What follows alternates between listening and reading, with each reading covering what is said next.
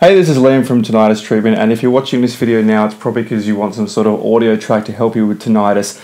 Tinnitus sleep, obviously, is the name of the video, but just give me two minutes because before you try and listen to that, that's fine. Listen to rain background, whatever, white noise is fine, but you really need to know this if you want to ever avoid using that in your life. If you want to keep doing that for the rest of your life, click up this video, it's fine. If you want some actionable steps to actually fix your tinnitus so you can sleep in silence, I recommend you watch this video, okay? Because it's about tinnitus sleep. Okay, so let's get into some habits and some things and the way your body works, and the way your body's your body's circadian rhythm works, your body clock, that you can actually understand, hijack, and use to help you not only get a better night's sleep, but get rid of your tinnitus. Because that's really the goal here, okay? I'm just gonna bring this microphone a little bit closer to me so that you can I can make sure you can hear what I'm saying, okay? So First thing is we have not one body clock, but we have multiple body clocks, okay? So the first body clock that we have is actually located in our eyes, and that's the most important, okay? And that's what takes the light in, and it senses the darkness and the lightness of your surrounding area, okay? And it's actually made up of cells in the back of your eyes, and this is a mouthful, but they're called the photosensitive retinal ganglion cells, okay? And it's clusters of them in the back of both your eyes,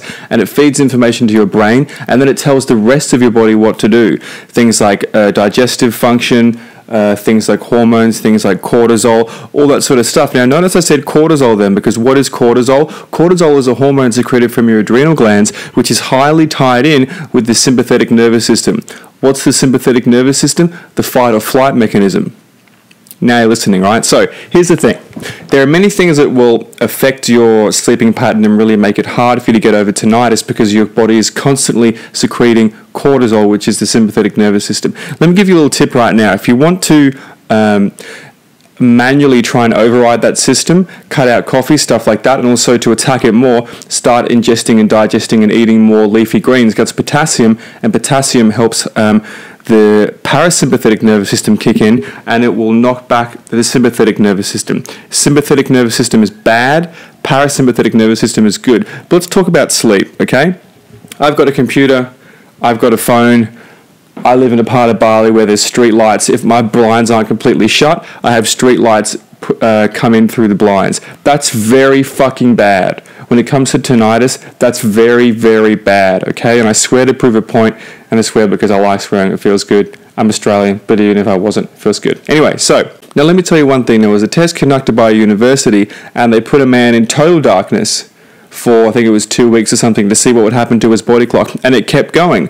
He slept uh, eight, nine hours a night, and he was awake for the rest. So it's internal. But the problem is when you get intermittent light and darkness throughout the day. You go and see a movie, you sit in somewhat darkness, you're up at night, maybe it's one in the morning, you're still on your phone, stuff like that. You're doing serious damage not permanent, but you're causing a lot of problems internally, especially if you're up at 3 a.m. trying to search how to fix tinnitus online you're actually making it worse.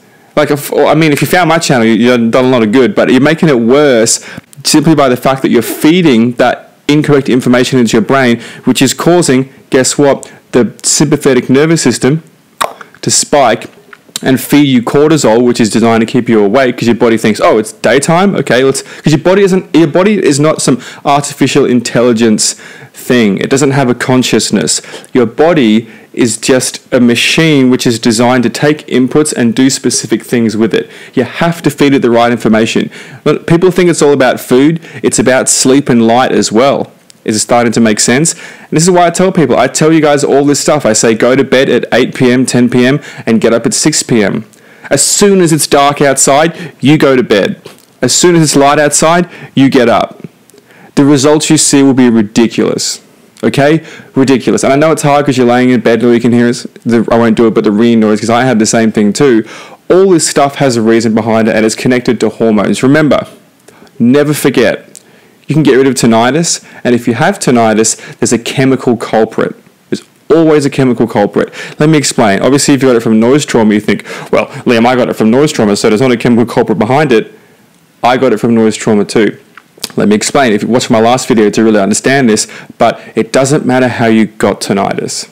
Food can cause food, sorry, food, nutrition, diet, antibiotics is not always what causes tinnitus. You can have nerve damage from an injury, you can have it from stress, but food, nutrition, diet is always, always what is going to prevent you from getting better. Okay? Always is what's going to prevent you from getting better because your body needs the right substance to heal. Your body needs to sleep properly. If you're not getting eight to nine hours of sleep a night, I don't care how old you are, that's a fucking problem. People think, oh, well, you know, uh, people think as you get older, you need less sleep. That's not how it works. You've ruined your body. It's as simple as that. When you get older, you've fu- if you're living like that, you've fucked your body. If you have tinnitus and you're uh, sleeping about five hours a night, you think that's okay, you've got a serious problem. And if your doctor says it's okay, well, guess how many times um, a doctor has told me that my tinnitus was for life back in the day, and told people that I've helped that their tinnitus was for life, and guess what? It's not. What a fucking shock, okay? So, this is about tinnitus and sleep. I'll keep it simple for you. Get a blue screen for your phone. Get a blue, sc- a literal blue screen for your computer, or just put the get, get um, Flux. I think it's FLU.X or FL.UX. That's really good. Crank it to the top one, but that doesn't mean you can watch it at all at night time. Doesn't matter what color the light is. Okay, people make that mistake. This is throughout the day. Okay, at night time it's off. That's it. You can't even read a book. You can't even read a book by candlelight. Candlelight. Bedtime. Okay, it's as simple as that. Bedtime. When it starts getting light, get up. This is hard for people to do because they think that you know their life they got they got to do work or handle this. What kind of a life is a life with tinnitus? What kind of a life is that? I mean, is it worth doing that? Maybe it's worth just forcing yourself to go to bed for a little while. I would advise at 6 p.m. when you get home, read a book by light. That's probably the or if you have there's light outside, still read a book, um, not on a Kindle, on an actual book, and then go to bed after that. Okay, that's what I would do, and that's what I did, and it helps a lot. This is a really good way to get results quickly with tinnitus as well that people don't understand. Cut out coffee because that's going to make that hard. If you if you say oh, I can't get to bed at that time, get up early. Get up earlier and quit coffee. Those are the two main things that's going to make this easy. Okay. Once again, this is Liam. Uh, this is about tinnitus sleep, and guys, if you want a, a full guide, okay, we're just going to give you the beginner's steps. I recommend clicking below and go to liamstopstinnitus.com. I got a completely free guide for you. I think it's still free. You have to check on the website, make sure it's still free. Um, go and download it now. Talk soon.